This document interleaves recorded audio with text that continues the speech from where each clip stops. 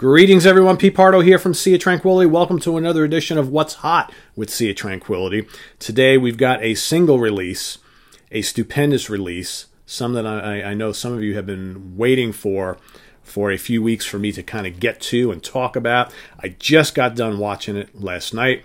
It's taken me like two weeks to get through it because it's a massive, mammoth set. Of course, I'm talking about Frank Marino live at the Agora Theater Okay, box set. So for those of you who are probably, I'm assuming if you're a Frank Marino fan, you know all about this. But if you're a Frank Marino fan and have no idea what I'm holding in my hand or what I'm talking about, uh, this is basically a like six hour live performance recorded at the Agora Theater in Cleveland, Ohio, back in 2009, right? Or was this 2010? Believe it was 2010. Um, and basically, Frank and his band got up on stage. It was like a whole day video shoot, whole day performance. For those of you who are, you know, lucky lucky enough to be there, I'm sure you will remember it for the rest of your life. Okay, and uh, it's a wonderful, wonderful document of a fabulous, fabulous day that uh, you know must have been incredible because the performance that I witnessed on DVD and Blu-ray. So let's let's just break down what you get here. So first of all, you get this killer book. All right, nice thick book. It's like uh, almost two. It's 176 pages. Uh, half of it written by our good friend here at Sea of Tranquility, Ryan Sparks. Okay, who also lives up in Canada, knows Frank Marino personally, and he basically wrote wrote like a, a bio for Frank and Mahogany Rush. Okay, very well done. And then the second half of the book is from the man himself, Frank Marino, talking about his career and more importantly, what kind of transpired to put all this together. So to give you a little bit of history, so basically, you know, a number of years ago, you know, Frank hasn't toured a ton in the last like decade, decade and a half, but at some point he was introduced to a guy who eh, owned a video production company and he said you know frank it's like you're like one of those the last of the classic classic rock guys from the glory days who doesn't have like a concert film on you know dvd or blu-ray and frank's like yeah i know it's like but you know costs a lot of money to put those together and yeah just you know it, it hasn't been top of mind for me whatever so this guy said you know what and he said i'd be you know very interested in doing that for you getting my crew in. You know, you pick where you want to play it, and we'll record the whole thing, whatever. And you know, you know what? Just because I believe in you and what you're doing, I'll do it for nothing. Okay. And Frank was like, you know, Frank being the guy that he is, is like, that's a, a, wonderful offer, but I couldn't take you up on that. I mean, I'm not, you know, it's like I'm not a charity case. It's like, you know, I, if I wanted to go have you do that, I would I would want to pay you for it, and I'm just not in a position to do it right now. So, but thanks anyway. Um, and apparently, this guy kept kind of, you know, every so often reaching out to Frank saying, "Hey, that offer's still available, whatever." So finally, you know, a couple years later, Frank decided, you know what, I kind of would like to do this, but I don't really have the money to kind of pay this guy and his team to do it. So we're going to do like kind of like a little low budget type thing. We'll grab a couple camera people, whatever. We'll play a show and what have you. And, uh, you know, we'll just kind of make it happen. We'll wing it, you know, whatever. Well, apparently the dude who had the production company, you know, kind of caught wind of that. And when it was time, you know, when the concert was, was booked at the Agora Theater, all right, Frank goes to show up, right? And that crew is there the guy who's been talking to him for years who said, I'm going to do this for you, whatever, uh, basically, and Frank was like, you know, touched. And is like, well, can't say no to him now, right? So, so long story short, they what Frank had wanted to do was play like a ridiculous. I mean, there's like fifty something songs, right? Just like the rehearsals that must have went into this, crazy to think of, right? All sorts of great tracks from throughout his career, a bunch of covers, right? Got some Hendrix covers, all right, all sorts of great stuff. Roughly six hours worth of, uh, you know, live action, all right, all professionally shot and recorded, okay, for a wonderful release like this, okay. The performances are killer, all right. Before I get into that, though, let me finish telling the story. So, as it turns out, like when they when they were going through sound checks and all that kind of stuff before the show actually started, you know, Frank Frank has this like recording system that he's been using for years that never had an issue with. But for some reason, as he's like checking stuff out and they're you know doing all the technical stuff behind the scenes before they're actually before it's actually showtime, you know, Frank's got this nagging premonition that something's not working right. Okay. But he's like, but you know, I've had this equipment for years. It's always worked for me. You know, I'm going to trust it. And but something just doesn't seem right. Anyway, they go, they play the show, they film it, record it, the whole nine yards. It goes great. The people in attendance loving every minute of it. Whatever. So afterwards, you know, Frank goes to sit down and start watching the footage and listening to the the playback and everything like that. And he's like, "What happened to the drums?" For whatever reason, the drum tracks were corrupt. And he's like, oh, what am I going to do now? I've got all this great footage. Everything else is perfect. And I got no drums. Or the drums, there's something really wrong with the drums. So rather than scrapping the whole thing, I mean, how can you do that, right? After everything that went into it, Frank basically has spent the the neck the last eight nine years working all sorts of magic painstakingly behind the scenes every day to fix the problem with the drums. And it took like all this time. So that's the reason why it has taken so long to get this thing out. And like I said, Frank, rather than scrap the whole thing, Frank was like, you know what? We have got to release this. As long as it takes to get this right, we've got to release it. So now, finally, it's done. Okay. And it's fantastic. So again, let me, now that you got the story out of the way, and I'm sure Frank is probably like, now I can have my life back, right? And hopefully make some money on this, right? So the booklet, fantastic. All right. If you've seen the little unboxing over at uh, Jeff Young's Music Without Boundaries YouTube channel, all right, when I was with Jeff last week, we kind of showed you a little bit of this. It's fantastic. A lot of great information, a lot of great photographs from the vaults. I mean, this is just fantastic stuff, people. All right. If you are a Marino fan, you have got to own this. There's just no other way to say it. All right. And you got a, just a great kind of like piece at the end from Frank himself. So that's the booklet. All right. So you've got one package okay, which has DVD, okay, DVD format. I believe there's four of them, okay. And that's the song list, folks. Out of control, all right. And then you've got the Blu-ray, single Blu-ray, of course. This is the one I watched.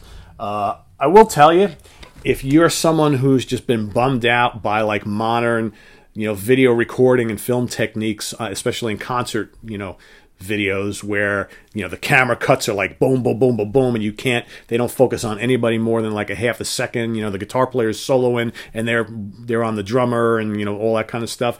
This is perfectly done. Man it was a pleasure to watch. Uh, the high definition quality was excellent. The camera work spectacular. The audio is spectacular.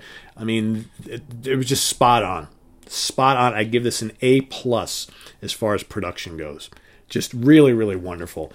and like I said, look at that set list. So there were three sets played on this evening. As you can see, each one, you know, set one and set two about similar in length, but then you get you get the massive third set. So I will say, like I said, I watched this over a course of I think four viewings. All right, I watched the first set in all one session. I watched the second set all one session. Uh, set three, I had to split into two just because it's so long. Um, and I will tell you, as, as, as great as set one and set two were, set three is mind boggling, people. Mind, my jaw was on the floor. I mean, if Frank Marino isn't one of the greatest guitar players of all time, I, I don't know who. I mean, this guy, uh, you know what I'm trying to say. Unbelievable. So, you know, set three kicks off with Poppy, which right there, what does that tell you? Great tune. And what else is great on here? Crossroads is killer. Killer rendition of Crossroads. Uh, Stories of a Hero. Amazing. All right. Something's coming our way. Probably has the greatest. Well, I don't even want to say the greatest because there's so many of them. One of the highlight guitar solos on this collection is in that particular song. Uh, He's Calling also is great with a blistering solo. What else is it? Strange Universe. There's, there's like so many highlights here. Uh, Electric Reflections of War and Aftermath is fantastic. In fact, the last basically whole, the last quarter of this is mostly just Frank. You know, Electric Reflections of War, Aftermath, O Little Town of Bethlehem, The World Anthem, Prayer for Peace, Try for Freedom, and Amazing Grace. Ugh. You're just sitting there and you're watching, and like, this is like, this is one of the greatest guitar extravaganzas I've ever seen. All right, and it's not to it's not to, to discount the first two sets because you know you got uh, you know in the set one you got Child of the Novelty, I'm Going Away, and then you know he plays a whole bunch of Hendrix tunes. Are You Experienced, Bold as Love, The Wind Cries Mary, Red House. Then you get The Answer, you know, one of my probably my favorite Frank Marino tune, Dragonfly. Set two you got Requiem for a Sinner, Strange Dreams, which is killer. Uh, God, for the Emperor. Midnight Highway. Just so many great tunes, people. So many great songs. I mean, ridiculous amount of tracks. Uh, and, and the band is fantastic. Um, just, just a wonderful, wonderful release. Uh, let me see. Do I have any more information to give it? I mean, I think that's you get the point. And and granted, I know some of you are probably saying, but Pete, where can I get it? How much does it cost? Well, you can buy it directly on Frank's site. That's where you can get it. Okay. Uh, I believe if you request it, he will even autograph it for you. I I spazzed out and didn't request uh, an autograph, so I wish I did. But um, it's selling for hundred dollars plus shipping.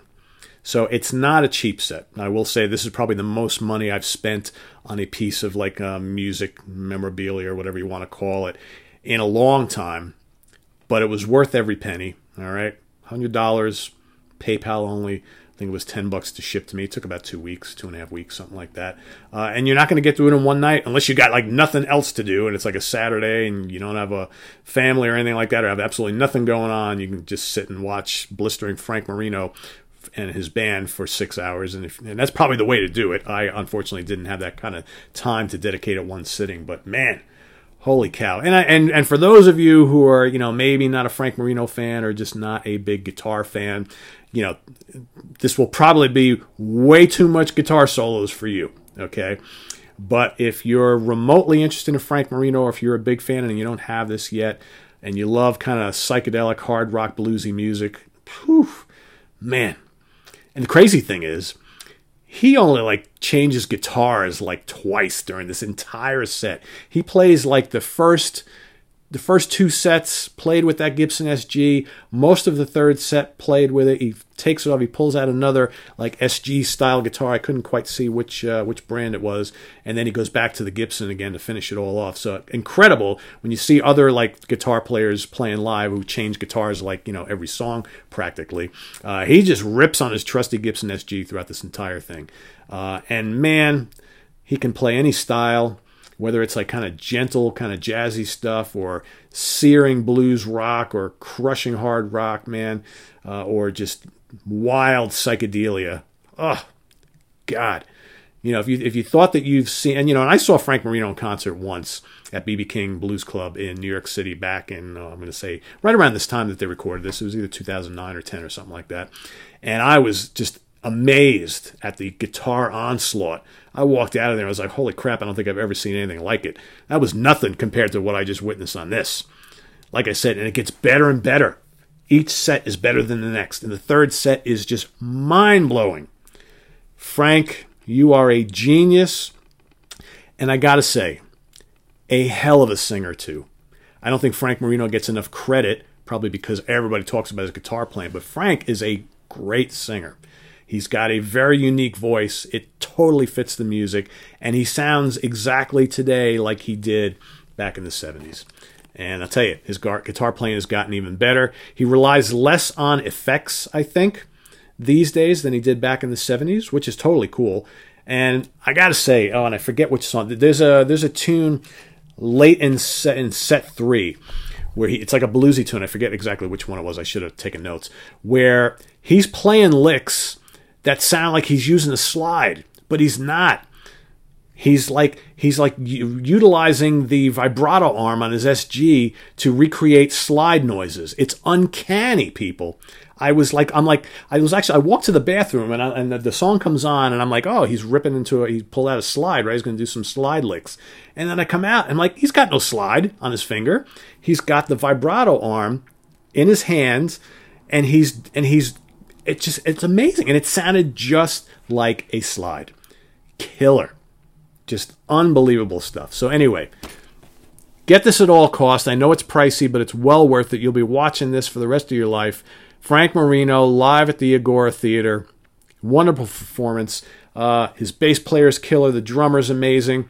His rhythm guitar player is quite good. He's got a guest on violin. It comes out in a couple tunes. Just amazing stuff. And Frank, this is a message to you directly. I know it took you forever to put this together, and I'm sure you put yourself through torture trying to get all the drum tracks straightened out and fixed. You did a fantastic job. If you never told that story, no one would know. All right, because this sounds perfect. You did a wonderful job, my friend, and uh, kudos to you. You're an inspiration.